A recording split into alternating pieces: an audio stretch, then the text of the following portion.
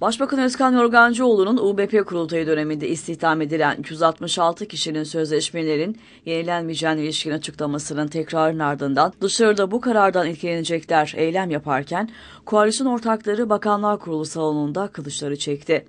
Başbakan Yardımcısı Denktaş'ın Yorgancıoğlu'na böyle anlaşmamıştık şeklinde itiraz ettiği bildirilirken Demokrat Parti başyazarı ve Demokrat Parti Parti Meclis Üyesi Erhan Arıklı tartışmalara ilişkin olarak yaptığı açıklamada Demokrat Parti ulusal güçlerin net tavrından dönmesinin söz konusu olamayacağını kesin bir dille ifade ederek reste varan koalisyon içindeki gerginliği doğruladı. Başbakan Yorgancıoğlu ve Başbakan Yardımcısı Denktaş'ın geçicilerle ilgili pozisyonlarını yeniden gözden geçirme konusunda mutabık kaldıklarını söyleyen Arıklı, DP'nin tavrı başından beri açıktır ve bu konuda asla geri adım söz konusu değildir.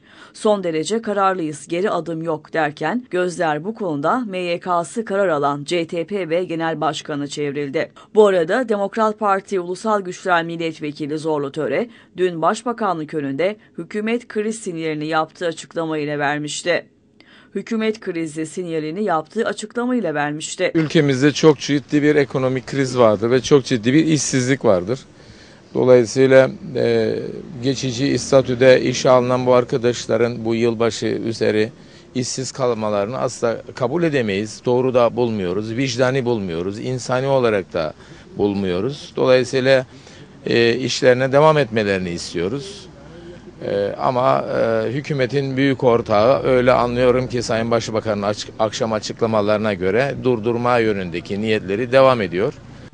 Ee, biz Demokrat Parti Ulusal Güçler Milletvekilleri bu konuya itiraz ettik. Şimdiye kadar hep itiraz ettik.